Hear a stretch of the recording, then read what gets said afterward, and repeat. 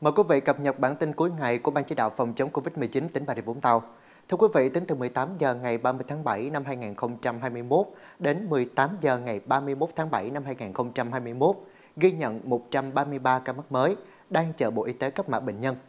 Cụ thể, huyện Xuyên Mộc ghi nhận 29 ca, trong đó 3 ca ghi nhận trong khu cách ly tập trung tại ký túc xá trường cao đẳng dầu khí.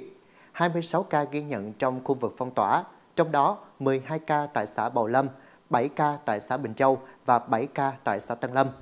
Thành phố Vũng Tàu ghi nhận 16 ca, trong đó 14 ca ghi nhận trong khu cách ly tập trung, trong đó 5 ca tại Bệnh viện Vũng Tàu, 2 ca tại phường 3, 1 ca liên quan đến bệnh nhân 53890, 1 ca liên quan đến bệnh nhân 95138 và 1 ca liên quan đến bệnh nhân 46307.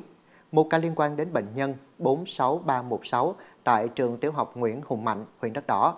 4 ca liên quan đến bệnh nhân 28499, 2 tại trường tiểu học Nguyễn Viết Xuân, 1 tại trường tiểu học Thắng Tam và 1 tại trường cao đẳng kỹ thuật công nghệ. 2 ca liên quan tới bệnh nhân 37514, 1 ca tại trường tiểu học Thắng Tam và 1 ca tại bệnh viện Vũng Tàu. 2 ca liên quan đến bệnh nhân 46307 tại trường cao đẳng kỹ thuật công nghệ. Một ca liên quan đến bệnh nhân tại thành phố Hồ Chí Minh phát hiện tại Trung tâm Y tế Vũng Tàu.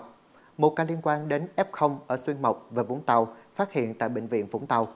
Huyện Long Điền ghi nhận 85 ca, trong đó 83 ca ghi nhận trong khu vực phong tỏa của thị trấn Long Hải, 1 ca Hải Lộc, 1 ca Hải Bình, 35 ca Hải Hà 1, 23 ca Hải Vân, 17 ca Hải Phong 2, 3 ca Hải Điền, 1 Hải Tân và 2 Hải Sơn.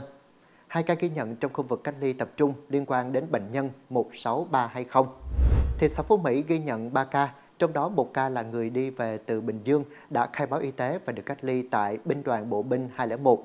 Một ca là trẻ em 7 ngày tuổi tiếp xúc gần với F0 ở thành phố Hồ Chí Minh, ba mẹ. Một ca ghi nhận trong khu cách ly tập trung liên quan đến bệnh nhân 46302 tại trường cao đẳng Vabis. Số lượng ca mắc ghi nhận tính từ ngày 28 tháng 6 đến nay là 1.363 ca. Trong đó, 62 ca đã khỏi bệnh, số ca đang điều trị là 1.301 ca, đang tiến hành khẩn trương truy vết các F1, F2, F3. Số người đang cách ly tập trung là 2.859 trường hợp, tăng mới vào 107, giảm hoàn thành cách ly 87. Thưa quý vị, chỉ còn một ngày nữa là kết thúc thời hạn giãn cách chỉ thị số 16. Tình hình dịch bệnh COVID-19 trên địa bàn tỉnh cơ bản đang trong tầm kiểm soát. Một số địa phương có số ca mắc cao như là thành phố Vũng Tàu, huyện Xuyên Mộc đã kiểm soát tốt tình hình dịch bệnh. Tuy nhiên, tại địa bàn thị trấn Long Hải, huyện Long Điền, thời gian gần đây có nhiều ca mắc mới trong khu vực phong tỏa tăng cao. Tỉnh nhận thấy dịch bệnh vẫn còn diễn biến phức tạp, nhiều bệnh nhân không có triệu chứng rõ ràng, nhiều ca F0 ủ bệnh thời gian dài không triệu chứng, khó phát hiện. Đến thời điểm này, tỉnh Bà Rịa Vũng Tàu vẫn phát sinh ca mới lây nhiễm còn trong cộng đồng, chưa xác định chính xác nguồn lây. Các lực lượng chuyên môn phải tiếp tục truy vết, điều tra xác minh. Do đó, việc thực hiện giãn cách xã hội có thể còn phải kéo dài hơn để tiếp tục thực hiện quyết liệt các biện pháp cấp bách trong phòng chống lây nhiễm chéo trong các khu cách ly, tập trung dập bằng được ổ dịch Long Hải, sàng lọc tách hết F0 ra khỏi cộng đồng. Cuối cùng đạt đến mục tiêu là ngăn chặn được dịch bệnh. Ban chỉ đạo mong muốn người dân đồng lòng và luôn sẵn sàng trong tư thế chấp hành nếu phải tiếp tục thực hiện giãn cách xã hội trong những ngày tới.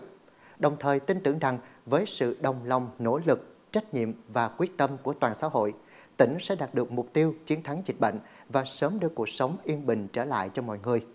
Các sở ngành địa phương tham gia kịp thời điều phối hàng hóa, ổn định thị trường, tuyên truyền đến các cơ sở kinh doanh mặt hàng thiết yếu, tham gia điều phối hàng hóa, vận động tuyên truyền đến người dân tăng cường mua sắm qua dịch vụ giao hàng shipper để hạn chế tiếp xúc, đồng thời có chế độ chăm lo, quan tâm đặc biệt đối với người nghèo, người có hoàn cảnh khó khăn, người mất công ăn việc làm do dịch bệnh trong thời gian thực hiện giãn cách xã hội.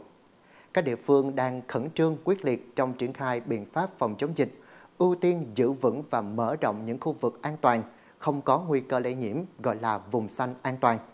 Để bảo vệ các vùng này, ngoài sự vào cuộc của các cơ quan chức năng, thì tại nhiều xã phường, ấp khu phố, khu dân cư đã lập các chốt tự quản bảo vệ vùng xanh an toàn, chủ động phòng ngừa dịch ngay khi dịch bệnh chưa xảy ra và phát huy được lực lượng nòng cốt là cán bộ, công nhân viên hưu trí, đoàn thanh niên, mặt trận, giữ gìn an toàn cho khu vực, cùng tham gia trực chốt nhằm kiểm soát người lạ vào khu dân cư, tuân thủ việc giao nhận hàng thực hiện tại chốt và bảo đảm phòng dịch giãn cách.